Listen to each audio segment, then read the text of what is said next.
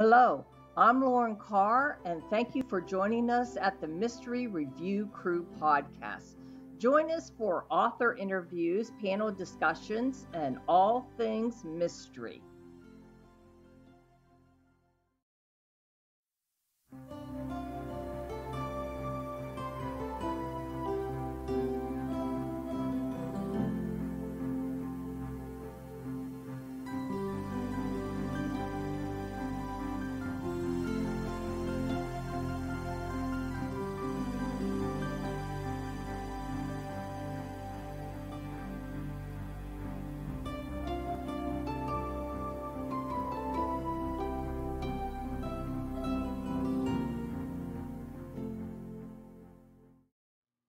Hello, mystery lovers. Welcome to the Mystery Review Crew. I'm Lauren Carr, and today we are doing a review of Michelle Cox's new release, A Spying Eye, which is the sixth novel in her Henrietta and Inspector Howard novel series.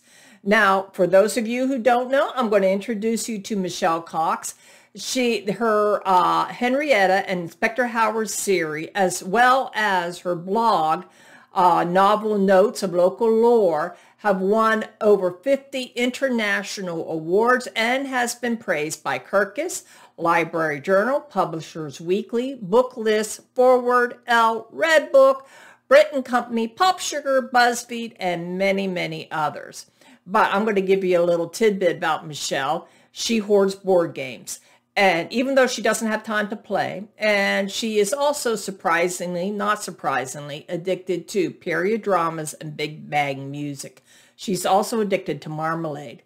She lives in Chicago with her husband, three children, and one naughty golden doodle. And right now she's hard at work at her latest novel. So come back, sit back, relax, and we're going to talk about Michelle Cox's A Spying Eye.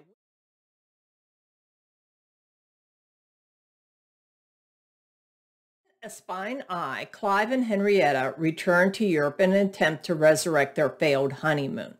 While in London, they are approached by an old friend, Inspector John Hartle, who convinces them to search for a missing panel of the Ghent Altarpiece, a famous Renaissance painting of which Hitler's top men are also in pursuit. Meanwhile, back in Chicago, Oldrich Exley threatens to cut off financial support for the entire von Harmon brood if Elsie continues with her plan to marry Gunther, a situation made worse by the sudden appearance of one Heinrich Meyer, who claims to be little Anna's father and threatens to take her away. Desperate, Elsie seeks the help of Clive's sister, Julia, who is herself the victim of domestic abuse and has fallen under the spell of a handsome Texas millionaire bent on acquiring a rare, a rare painting from the Howard collection. Clive and Henrietta's search takes them to Chateau de Frontenac, I hope I pronounced that correctly, in Strasbourg, France, an Asian seat of the von Harmons and home to three eccentric distant relatives of Henrietta's.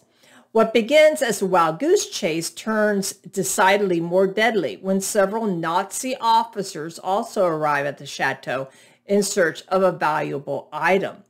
When Henrietta and Clive attempt to flee after Henrietta uncovers a shocking truth, they are forced to trust themselves to a suspicious French servant who seems all too willing to help.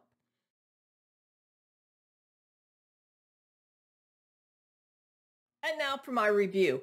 A Spying Eye by Michelle Cox is an excellent read. And I thoroughly enjoyed uh, reading the sixth book in the Henrietta and Inspector Howard series.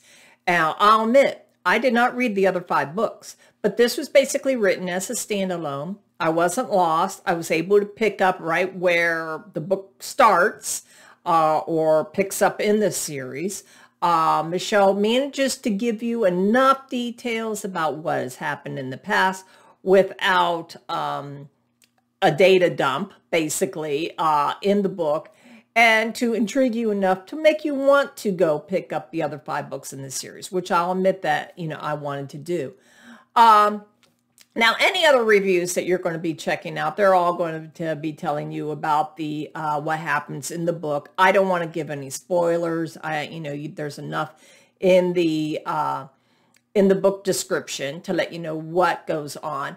What I want to focus on in my review is the character development of um, the characterizations of Clive and Henrietta uh, you know, which Michelle Cox does a wonderful and admirable job. Uh, I'll admit, sometimes I do have problems with historical fiction, especially historical fiction where you have a strong female protagonist. A problem I found uh, with a lot of historical novels, historical fiction novels, is that the author will take a uh, strong woman basically will take a woman, uh, a character, a personality uh, from today and just pluck her out of today's society and seemingly dump them in an earlier time period and say there's a strong independent woman. And but she comes across in the um, setting in the past because she has today's ideals and today's, you know, thought processes and ideals and characterization, she comes across as aggressive and, um, you know, even rude and disrespectful to characters who are authentic to that time period and thought process and culture. Uh, Michelle Cox, she created in Henrietta, she created the word I um, I've seen in other reviews for earlier novels is spunky, and that perfectly describes Henrietta. Uh, she's spunky, she's independent, she is, uh, you know, she, you know, she's not passive, but she's not, but she is strong without being disrespectful uh, scenes where she, uh, I admired scenes, especially scenes where she was with her mother-in-law, you know, Clive's mother. Uh, likewise, she, Michelle managed to make Clive uh, encouraging and proud of his wife's intelligence and independence and spunky nature without jeopardizing his masculine role without making him come across as weak or passive. You know, he is, you know, he can, you know, come butt right heads right with, uh, um, with Henrietta, which makes they have a, they, they are perfect for each other. They make that she, Michelle has made an admirable, uh, couple that I think a lot of married couples would like to have in today's society. Uh, Clive is strong. He is intelligent. He is open-minded to his wife's, um, you know, to his wife's independence and to her intelligence. He's respectful of her. She's respectful of him. And as a matter of fact, I even saw in Henrietta an ability that she she's smart and she is, I don't want to use the word manipulative, but she uses her intelligence and her role and her basically maybe a secondary role of, you know, how some people would view her since she's a woman in a time period in the 1930s. She uses her feminine wiles. I've seen her do that too. And that is, you know, she's an admirable character, wonderful character who I, you know, which you know, her and and Clive, they are wonderful characters. They are a wonderful couple. And I totally admire the way uh, Michelle Cox managed to put them together. Such character development does take great skill and immense talent, which Michelle Cox definitely has. So I would recommend, you know, people who love mysteries, people who love historical mysteries, people who love historical fiction, that you do go pick up A Spying Eye today. And also pick up the other five books in this series. You may want to read them all in order so that you can follow the character development of uh, Clive and Henrietta.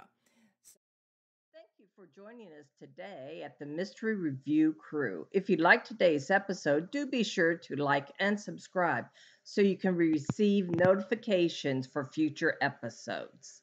In the meantime, happy reading.